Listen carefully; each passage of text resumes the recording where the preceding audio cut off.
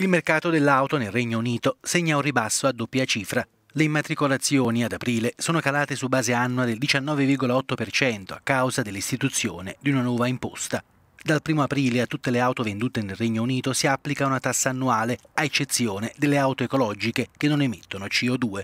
Il peggior calo da oltre sei anni segue però il record registrato nel mese di marzo, quando c'è stata una corsa all'acquisto proprio per evitare la nuova imposta. Dall'inizio dell'anno le immatricolazioni sono aumentate dell'1,1%.